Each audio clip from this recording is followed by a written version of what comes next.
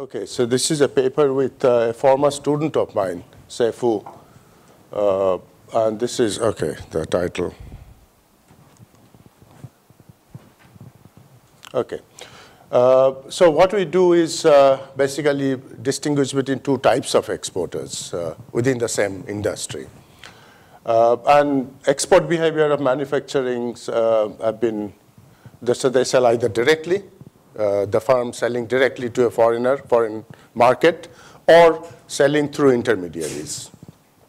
Okay, so, so that's, that's a fact, and I'll come to the data a little later. Where does it move? Uh, okay. And uh, so very few actually I've examined export behavior which involve intermediaries. Okay, and so in our model there'll be both. Uh, the coexist, both will coexist. Um, and there's a literature.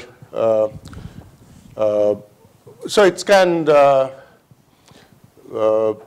in total exports share of high intermediaries can be as high as 41% in a particular sector, in a particular country. So wide variation between sectors and between countries. Um, but those are not sort of insignificant. That's what I'm trying to say here. And there are other studies which says about 25%, a quarter. So it's still the direct exporting is the dominant force, okay? But indirect exporting through intermediaries are not insignificant. Uh, so this is more data. Okay. And this is even more to just, I'm trying to uh, skip. Uh, this is a, a, slide written for a long presentation. Uh, and uh, it depends on the industry as well. Okay, not only country, but industry, industry, there's a lot of variation.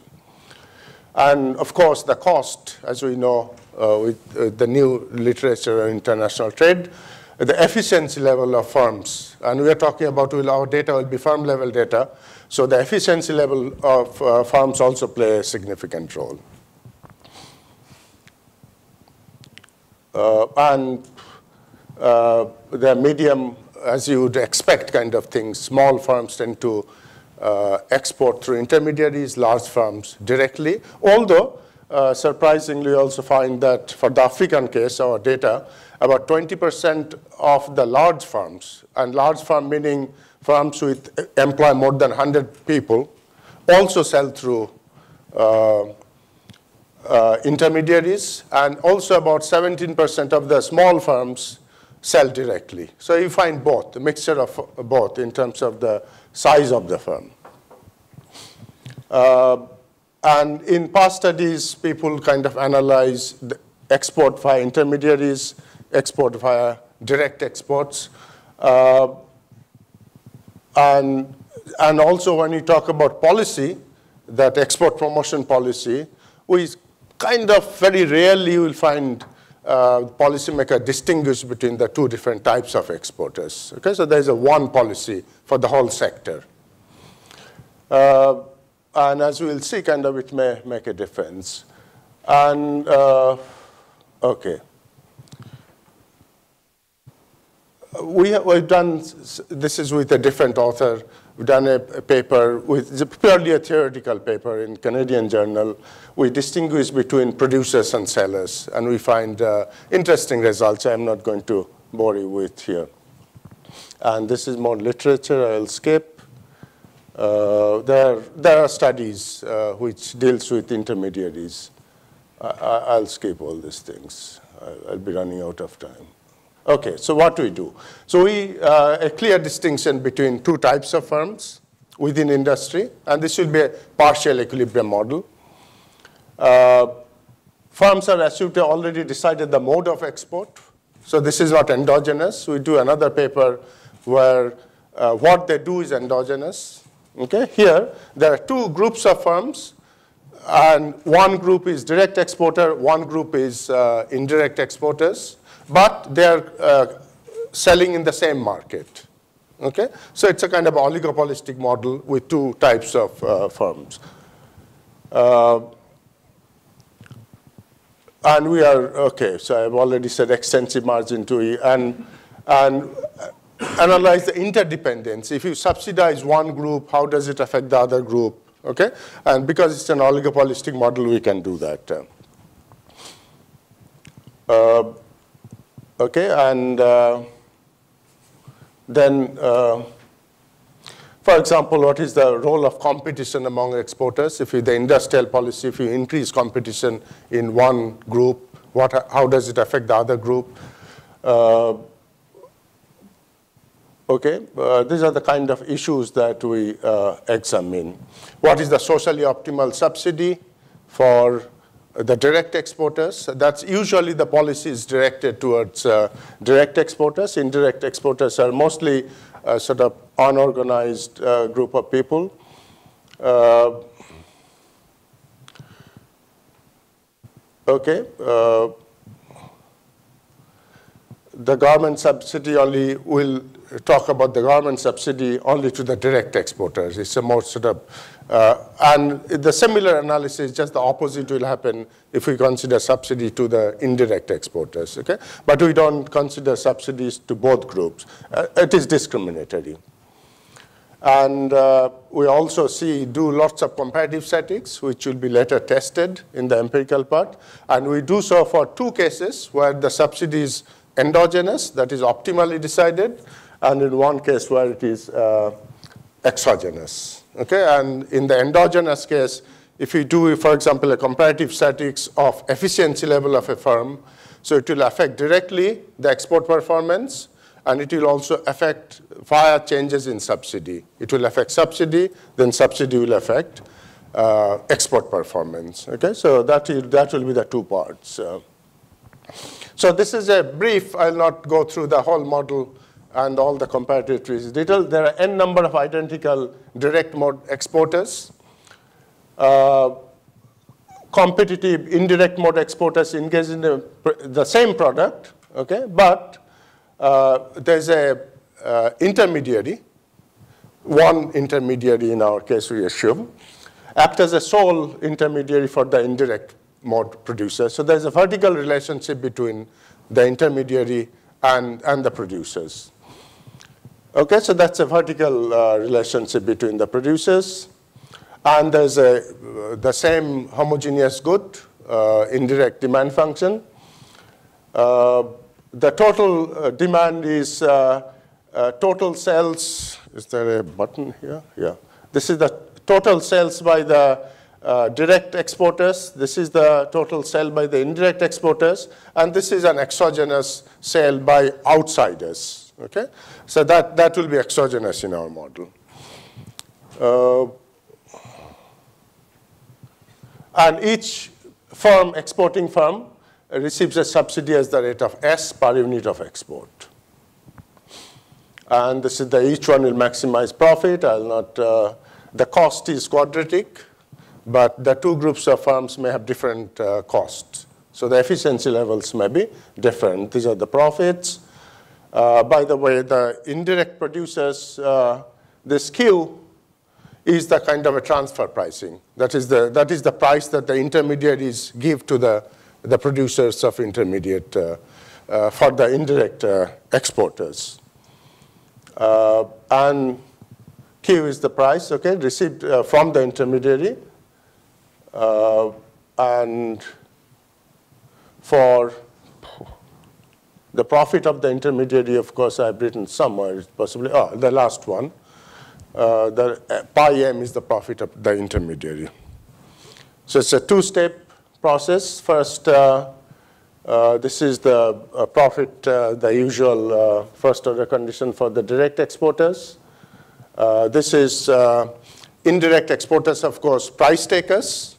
So their marginal cost equal to the price they get, which is Q.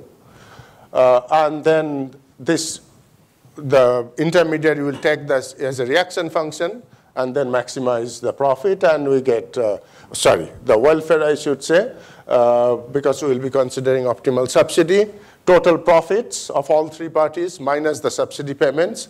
Consumer surplus is not here because we are assuming that everything is exported. Okay? So all products are, okay. so all profits minus the subsidy cost. Um, okay, and, and uh, the usual results. uh, I'll not bore you with. Uh, competition, if you increase the number of uh, direct uh, exporters, it will reduce the output of all, of, remember the output of each firm of both types. Okay, this is one of the uh, kind of interdependence. But of course, N has gone up, so the total output of the direct exporters will go up, and it is the indirect exporters which will suffer, okay? So the more competition among the direct exporters will actually hurt the indirect exporters. Uh,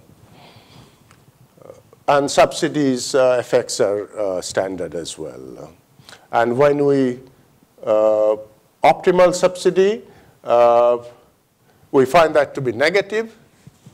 Uh, and so it, the policy would be to actually, the government, optimal government policy in our model would be actually uh, to tax the direct exporters. In other words, subsidize the, or uh, that what it means is to subsidize the indirect exporters. So a better policy, more help to the indirect exporters and uh, taxing the direct exporters. Uh, so there are arguments and all. How much uh, am I doing with time? Uh, I've taken five minutes. Yeah, left with five minutes. I have left with five minutes. Oh dear. Okay, so I'll just skip. Uh, okay, uh, I'll skip all of that. Uh, okay, uh, so we have uh, uh, the two kind of equations that we estimate. And the data, I have not talked about the data yet. The export of uh, ith firm in the jth country, sorry, kth country, uh, firm I, sector J, country K. Okay, that's IJK. And the variables are uh, the efficiency level of the firm, okay, and also uh, of, uh, this is remember the first equation for the direct exporters. So efficiency level of the direct exporters and also the efficiency level of the indirect exporters in the same firm because they're all interdependent.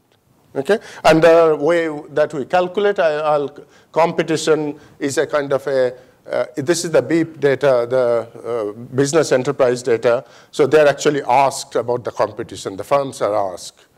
Uh, they are also asked about the tax. Uh, are they paying too much tax, too little tax? There are categorical variables, okay? So there are all these details. They're all in the paper. Uh, detail this is how we actually calculate the data. Uh, and so there are two exports of, uh, so identify the farm as a direct exporter, indirect exporters, and the two export equations. This is the log sales, by the way, because there is no quantitative data, it's the sales data. Uh, and we estimate uh, these equations. And, and there is also a sector level estimation that we have the tax variable that uh, the firm, the sector J in country K, and this is the mean. So each firm is asked, is the tax too low, too high? There are about five categories. Okay, we take the median uh, in that industry from each, each firms, okay? So the median tax uh, burden of the firm in that industry. So this, the tax equation is sector level because the taxes are never a kind of discriminatorily charged to each firm. So the tax is the same, uh, actual tax is the same for all firms. And we do all that. Uh, this is the World Bank Enterprise Survey for uh, about 39 sub-Saharan African countries. This is a, unfortunately, this is a data collected over a period, but we have only one observations for, it's not a times, it's not a panel. Uh, sorry, it's a panel in the sense of firms and countries, but there, there's no time element in, in, in, the, in the data. Uh, so there are about 200 and uh, 2,300 roughly firms, uh, 14 different industries, and all the industry class, uh, they're all in the paper, uh, which you can find. so we only, there are a small section of farms, they do sell directly and indirectly to both. Each farm is doing both. some selling directly, some, a small one. Okay? So we exclude those, very, those uh, firms from the sample. Uh, and uh, Okay, about 22% in our sample are indirect exporters, 78 are. Uh, so we do all sorts of things to uh, define. The efficiency variable is actually relative efficiency within an industry of the different firms.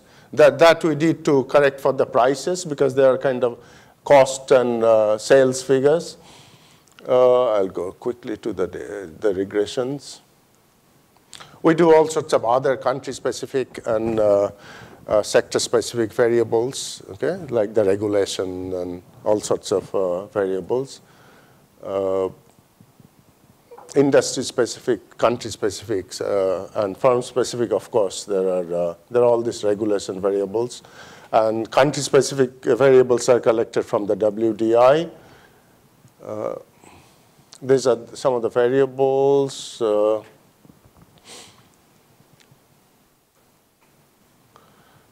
Okay, so this is uh, some sort of sample characteristics. I'll skip, I'm going to go to the table. Uh, this is, I was telling you about the distribution of firms across the size, uh, about ownership. Oh, okay, so this is, uh, yeah, this is descriptive, two minutes, okay, okay, one minute each table. Okay, so this is for the direct exporters. This is, remember, the left-hand side is a level variable, uh, total log sales.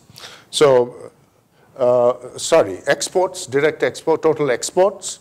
And we also have another uh, uh sales variable just to uh, total sales of the firm. And this is the left-hand side is the export, direct exports, okay, just to keep one level variable. And there are all the competition variable, cross efficiency, own efficiency, uh, ownership, uh, the technology level, whether they have website or not, uh, age of the firm, the credit constraint that the firm faces, uh, the country-specific variable and all these things. And more or less, the results are consistent with what we find uh, in the theoretical part, which I haven't discussed. Uh.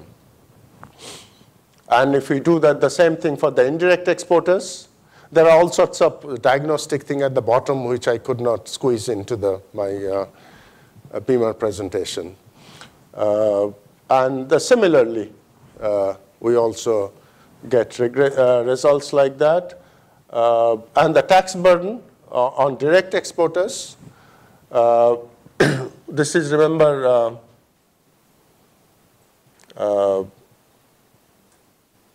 we, since the tax variable is uh, categoric variable, and we take the median, uh, just for robustness check, we also do the order logit uh, or OLS, uh, and the results kind of uh, similar.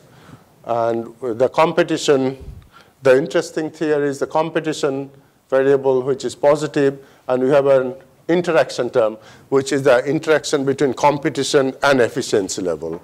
And the part I skipped in the theory that uh, the effect of competition on the optimal subsidy dependent on the level of efficiency uh, of the firm. Uh, and so that uh, we have an interaction term which is also consistent. I think that's roughly uh, what we do. Uh, yeah. I run out of time, have I not? Yeah, okay. Are you done? I'm done, yeah.